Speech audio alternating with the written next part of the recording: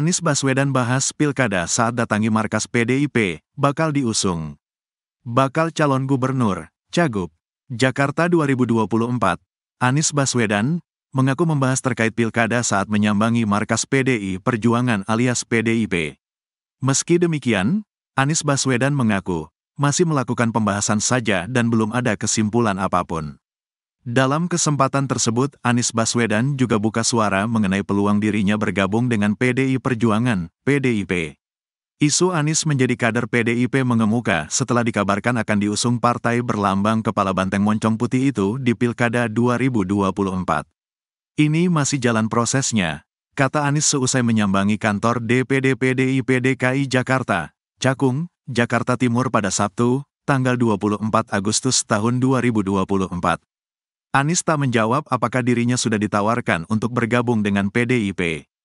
Dia mengaku sedang menunggu keputusan untuk dibuat. Sekarang ini kita tunggu dulu sampai semua keputusan dibuat. Abis itu kita tentukan langkah ke depannya seperti apa, ujarnya. Dia mengakui membahas pilkada dalam pertemuan dengan Ketua DPD PDIP DKI Jakarta Adi Wijaya alias Aming. Kita ini bukan pertemuan pertama. Kita sering diskusi, ngobrol, bertahun-tahun ke belakang. Jadi sama Pak Aming bukan urusan pilkada saja, sudah panjang, ujarnya. Namun, mantan Gubernur DKI Jakarta ini menyebut bahwa keputusan untuk mengusung adalah kewenangan DPP PDIP. Tetapi kita semua menunggu apa yang menjadi keputusan. Jadi tadi sama sekali kita tidak menyinggung tentang keputusan, langkah, dan lain-lain. Karena semuanya di luar kewenangan kita, ucap Anies. Anies menjelaskan, dalam pertemuan tersebut mereka juga membahas soal masa depan Jakarta. Kita juga berbicara tentang bagaimana agar pemikiran-pemikiran kebangsaan, pemikiran-pemikiran tentang Bung Karno, keindonesiaan, keagamaan itu kita berjalan seiring dan membuat suasana di Jakarta aman, teduh, damai, ungkapnya.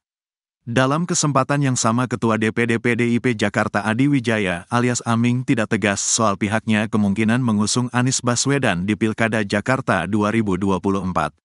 Insya Allah, kata Adi Wijaya, pria yang akrab disapa Aming tersebut mengatakan pertemuan dirinya dengan Anies hanya kangen-kangenan lantaran lama tak jumpa. Beliau kangen sama saya, mau ketemu saya, sudah lama enggak ketemu. Boleh dong, ujarnya, dia membenarkan dalam pertemuan tersebut juga turut membahas Pilkada Jakarta 2024. Iya kita menyamakan kita punya visi dan misi. Bagaimana kita mengawal, ada persamaan kita punya pandangan, ucap Aming. Menurut Aming, pihaknya bersama Anies bersepakat untuk mengawal konstitusi dan demokrasi. Bahwa kita harus mengawal konstitusi yang benar, kita harus mengawal demokrasi yang benar. Itu saja, ucapnya.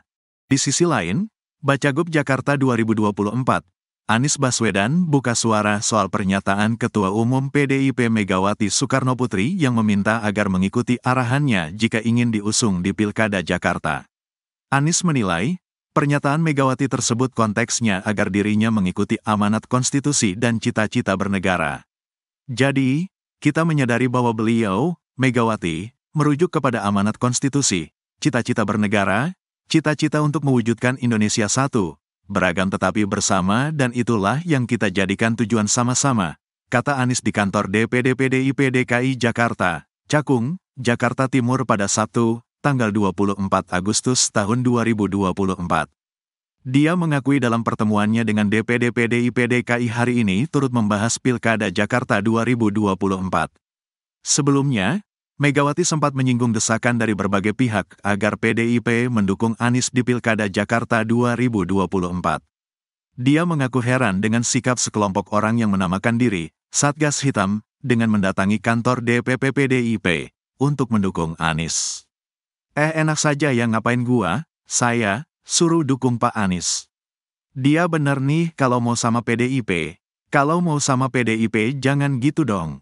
Mau enggak nurut, kata Megawati di kantor DPP PDIP, Jalan Diponegoro, Menteng, Jakarta, Kamis, tanggal 22 Agustus tahun 2024. Presiden kelima hari ini menilai tidak semudah itu mendapat dukungan dari PDIP. Enak amat ya, sekarang kita dicari dukungannya, lalu kamu ke mana kemarin sore? Bo jangan gitu dong, ujar Megawati. Rocky Gerung nilai PDIP mesti usung Anies Baswedan kalau ingin fight back Jokowi. Sementara itu, pengamat politik Rocky Gerung menilai PDI Perjuangan, PDIP, mesti mengusung Anies Baswedan di Pilkada Jakarta 2024 apabila ingin fight back atau melawan balik Presiden Joko Widodo, Jokowi. Rocky menilai, butuh sosok yang bisa membangun semacam benteng politik baru agar tidak lagi diacak-acak Jokowi. Sehingga, Rocky menyebut PDIP perlu cermat menentukan siapa calon gubernur Jakarta yang bakal diusung. Anies dianggap mampu untuk jadi benteng bagi Jokowi dan dari dalam benteng itu artileri politik diarahkan lagi ke istana. Ungkap Rocky, dikutip dari kanal YouTube Rocky Gerung Official, Jumat, tanggal 23 Agustus tahun 2024.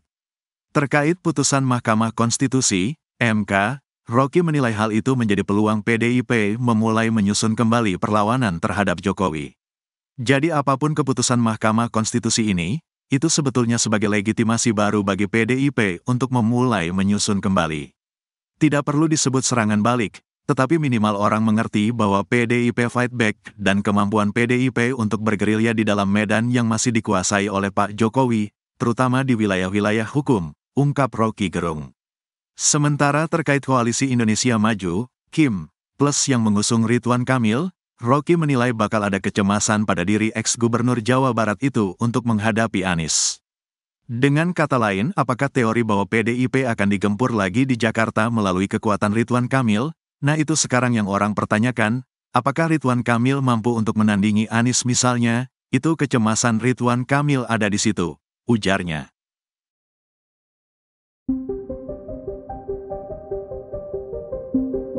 Dia bener nih kalau mau sama PDI eh? kalau mau PDI jangan kayak gitu dong ya. Ya tinggal mau nggak nurut ya. Dong Ketua Umum PDIP mempertanyakan apakah Anies Baswedan siap mengikuti perintah jika ingin diusung maju di Pilkada Jakarta 2024. Bahkan beberapa kader PDIP menyebut Anies Baswedan harus memiliki kartu tanda anggota atau KTA jika ingin diusung partai berlambang kepala banteng. Menanggapi hal tersebut, cupir Anies Baswedan buka suara. Kutip dari Tribunnews.com, respon itu disampaikan oleh jupir Anies yakni Sahrin Hamid yang mengklaim Anies siap menunaikan amanat dan menjalankan program-program yang dibawa oleh PDIP. Sahrin menyebut bahwa sudah sepantasnya calon yang diusung oleh partai memperjuangkan program partai untuk warga.